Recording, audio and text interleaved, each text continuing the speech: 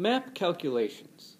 In this video, you will see examples of a few of the types of calculations that you can expect to do and perform while working on maps in a typical geology classroom. So we are first going to start by looking at a type of scale that's given on a map. For this, we have what is known first as a ratio or fractional scale. You will always see these on maps as 1 colon and then a number. For this case we have 24,000. It's a very common ratio of scale to have on a map, 1 to 24,000. What it means is that on this side where the 1 is, we are looking at on the map. So 1 centimeter, 1 inch, 1 foot, whatever you're measuring with your ruler on the map is equal to 24,000 of that same unit in real life. So if we measure 1 centimeter on the map, that's equal to 24,000 centimeters in real life. If we measure one inch on the map, that is equal to 24,000 inches in real life. So let's go ahead and make note of that so that we can have it easily available for us. So I'm going to rewrite 1 to 24,000. I'm going to put on map and in real life. Maybe highlight them different colors so they stand out.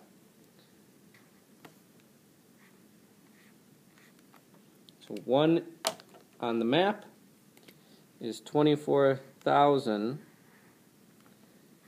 in real life.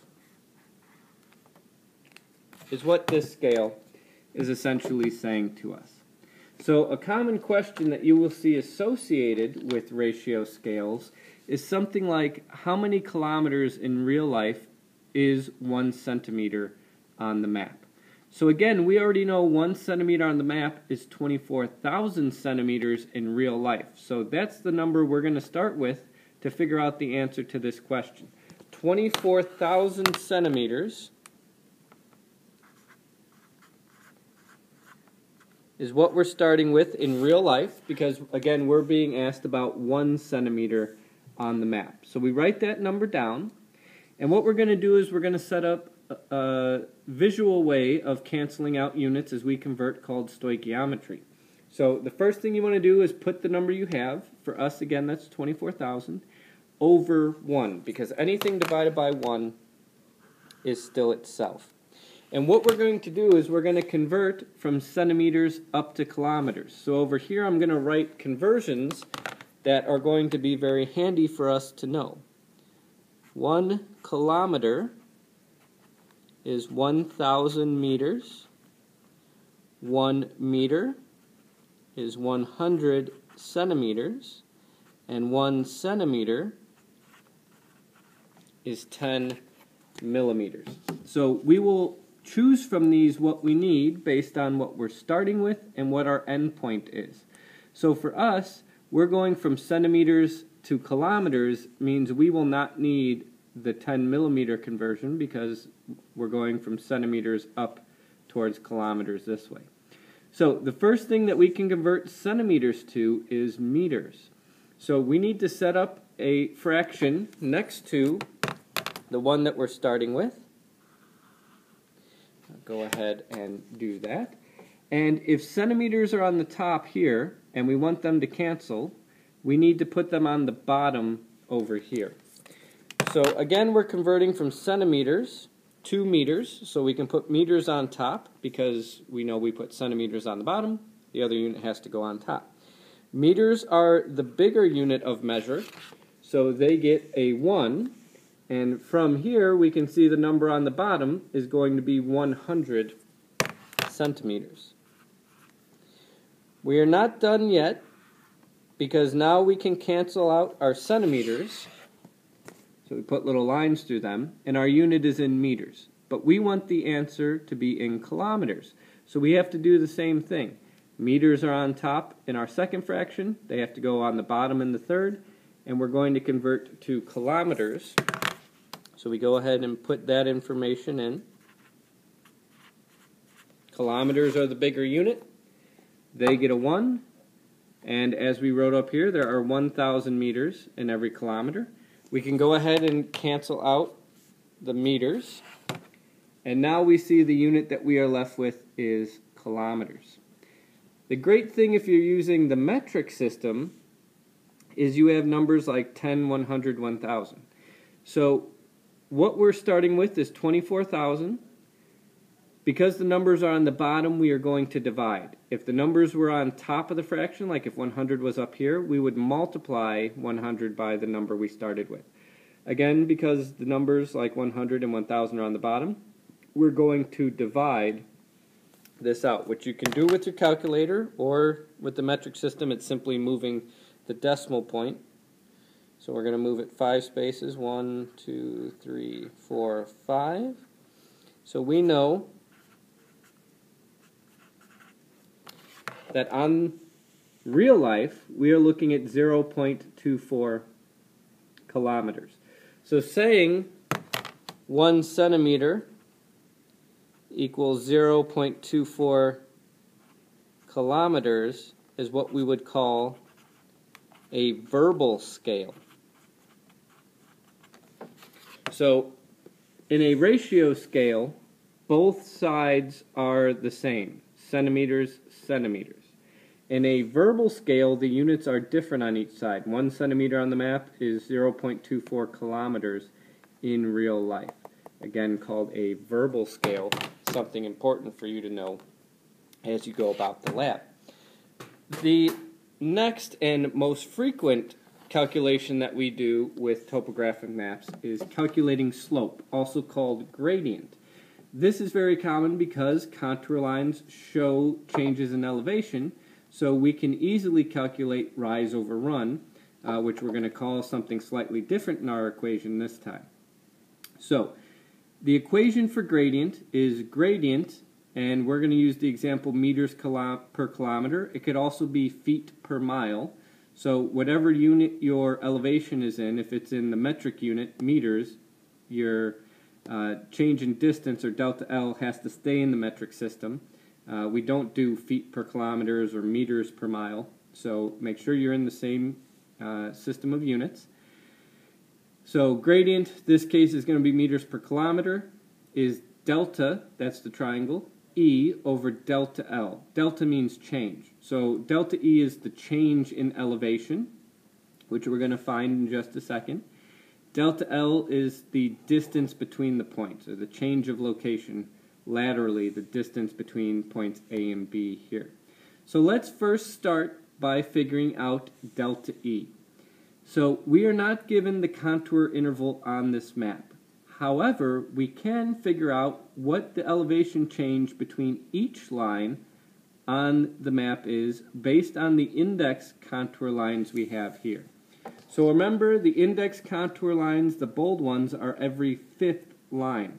So what we need to do to figure out our contour interval is look at the change in elevation between the index contour lines. So the one above is 200, or the one in the north, the one in further south is 100. So we take and subtract the two so that we figure out between index contour lines, we are looking at 100 meters of elevation change. We then need to figure out how many intervals or how many steps are there between the index contour lines. To do this, do not count the lines between them, count the spaces between the lines. So I'm going to go ahead and write those in. So we see there are five spaces between the lines of our bolded index contour lines. So what that means is we're going to take the number we got here by again subtracting the numbers on the two index contour lines and we're going to divide it by 5. So 100 divided by 5 is 20. What that tells us is every line is going to be a difference of 20 from the line next to it. We can double check this by adding 20 for each line to make sure our numbers line up. 100, 120, 140, 160, 180, 200. If the numbers don't match when you get to the next in, uh, index contour line, you have not calculated the interval correctly. So that's kind of your double check. So let's start with delta E, the change in elevation. We need to get the elevation of point A and point B. The V on the index contour line here, along with all the other contour lines, again is pointing uphill. So it tells us we're getting higher in elevation as you go north on this map. Our index contour line is 200, our interval is 20, so we are one line above 200, which would make the elevation of point A 220 meters. For letter B, the, again, V is pointing uphill, so we are going downhill from 100. We are two lines below 100.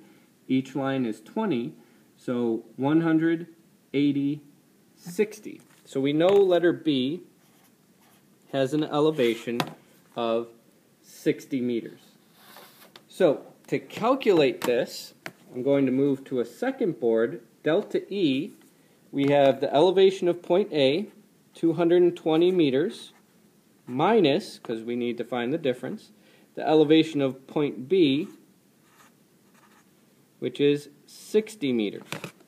So we take 220, the elevation of the higher point, minus 60, the elevation of the lower point. And again, you can do this on a calculator or in your head. But it's important that you show all your work. You always have to show all work because if you did something wrong, showing your work allows us to see where you went wrong, uh, which allows us to give you more credit for what you did correctly versus just putting a number at the end because you did everything in your head or you didn't write it down and it's just a wrong number. We don't know how you got it, where you went wrong, so you'll receive a lot less credit. So we do the subtraction. 220 meters minus 60 meters is 160 meters. We have now figured out delta E, which we can go ahead and write down in our equation again for G. Delta E above delta E, so we'll write that on here. so that it is set up and ready to go. Now we need to find delta L. To find delta L, we have a few steps that we need to take. Step one when finding delta L is to measure with your ruler how many centimeters are between points A and B. Always use the centimeter side of your ruler as long as you stick to that and always use the centimeter side of your ruler this will work. And the centimeter side of the ruler is typically easier to use because each centimeter is broken up into one tenth, which are millimeters, rather than inches that can be broken up into quarters, eighths, sixteenths, or 30 seconds, 30 seconds, which are more difficult to enter into a calculator. So measure with your ruler A to B. Let's go ahead and do that. So when I take the centimeter side of the ruler, and I set it on here for the size of my image, which again yours might be different because your image might be smaller, so you might not have the same number as me, that's okay. I am getting 8 centimeters, 8.0. You could have 4.3, 3.4, whatever it's coming off on your ruler from A to B, that's what you should write down. So, first thing for delta L is measuring A to B on your ruler, which in this case is 8.0 centimeters.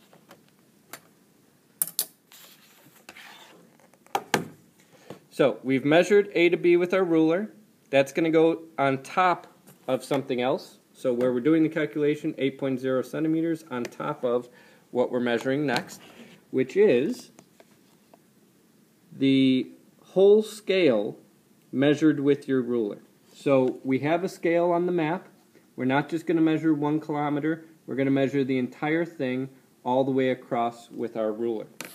Again, we're using the centimeter side of our ruler. Your number might be different again because the size of your image might be different, but I am getting 4.4 centimeters. So I need to write that where it goes, which is A to B on top, the whole scale measured with our ruler on the bottom. The next thing that we need off of the scale, so we've measured A to B with our ruler, We've measured the whole scale with our ruler. We then multiply by the number on the end of the scale. This, again, we're working in the metric system, is going to be in kilometers. So we measured from 0 all the way over to 3. So we are looking at 3 kilometers. We write that.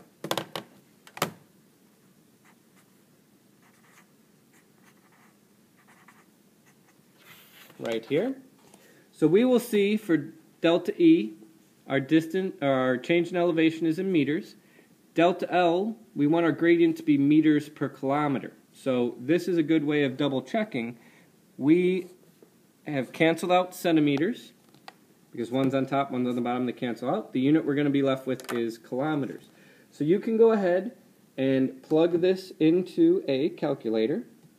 We take 8.0 divided by 4.4 times 3, and we find that we have 5.45 kilometers as delta L. Now again, your numbers might be a little bit different because the size of your image is different in your packet. But as long as you're doing the same steps, you're going to be okay. So this 5.45 kilometers is delta L, which for our equation for slope has to go underneath delta E. So we go ahead and take the 5.45 kilometers and we put it on the bottom in our fraction for figuring out the gradient.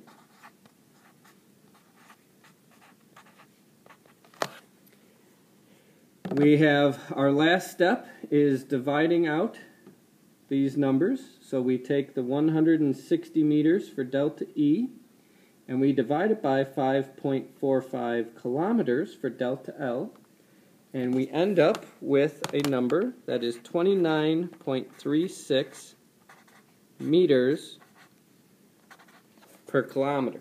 That means as you move from letter A to letter B in the map area, you are going to experience, if you're going from B to A, an uphill walk that rises about 26, what was our number, 29.36 meters for every kilometer. Or if you're going from A to B, you're going to be decreasing in elevation about 29 meters for every kilometer that you walk. Calculating slope is something that we will do several times throughout the semester, so be sure to come back and reference this video if you ever need to be uh, brushed up on it.